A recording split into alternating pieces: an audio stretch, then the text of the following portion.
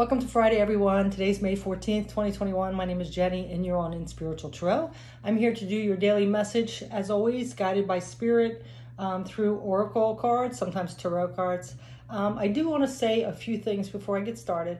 I am putting out the shadow messages, and uh, please don't think that I'm doing this to be cruel or mean or to bash anybody. But I just, I am a big believer that we have to look at the shadows in order to heal. Um, I think that's a lot of people's problems that they bury them underneath or don't want to admit them or not even aware of them.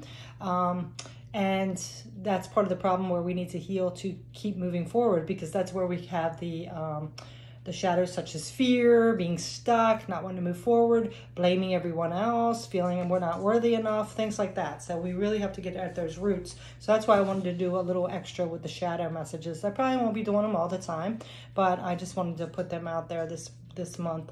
Um, I do appreciate all the support. Oh, and as far as putting out the shadows, um, a lot of people want to sweet talk everything and butter everything up and say, oh, it's fine, you know, and they want to ignore the shadows as well when it's like slapping them right in the face. Think of me as that friend that's very honest and will tell you what you need to hear, whether you like it or not. Because, you know, honestly, it's the best policy. It, I mean, as long as you're not doing it in a cruel, mean, mean way, like just to pick at somebody or whatever, I'm just doing it so you can raise your vibration and um, possibly when those things come up, you aren't triggered, that you uh, uh, recognize them and you've already done the work to heal them, or you can step back and like, okay, why is this bothering me?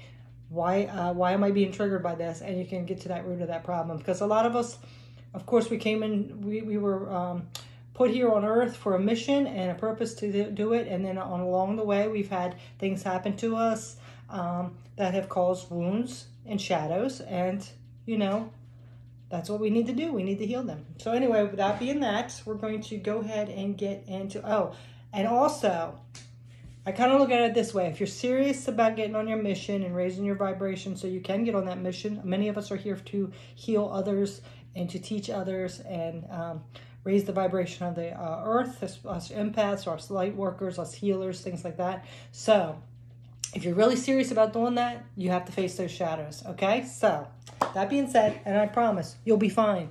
it's a matter of perspective. It's a matter of listening to your intuition and finding what that root cause is and healing it. Okay, once and for all, looking that shadow in the face and saying, you know, I can get through this. It's making me strong, right?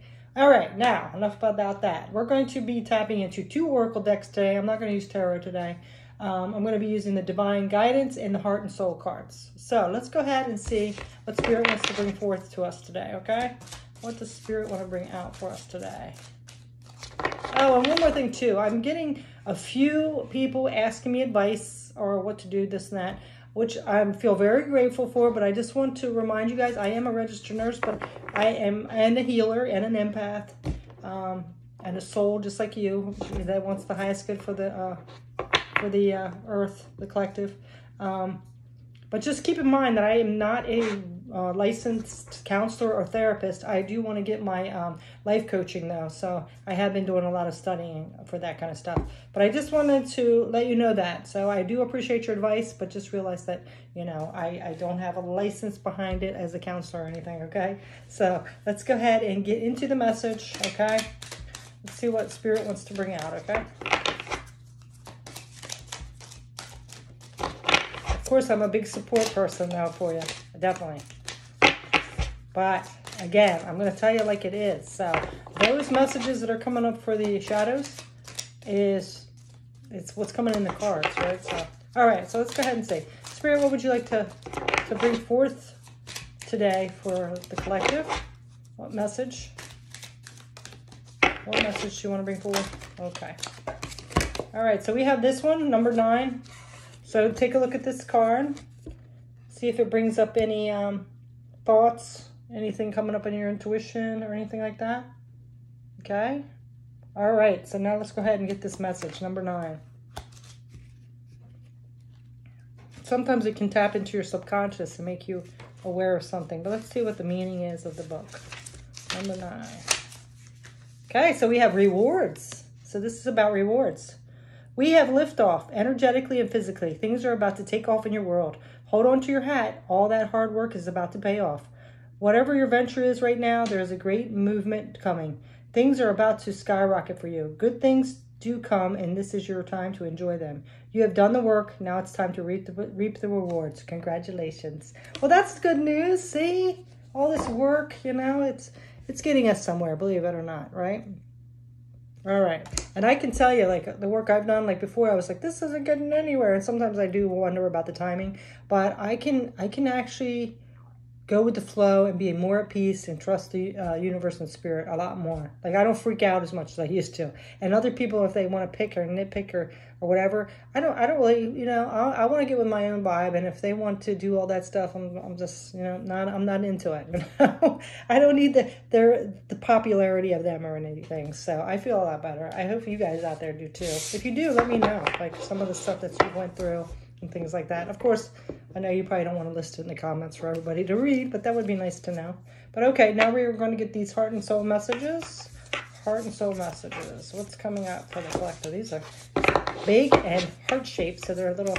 Okay, Spirit, what do you want to bring forth? What message for the collective with this rewards?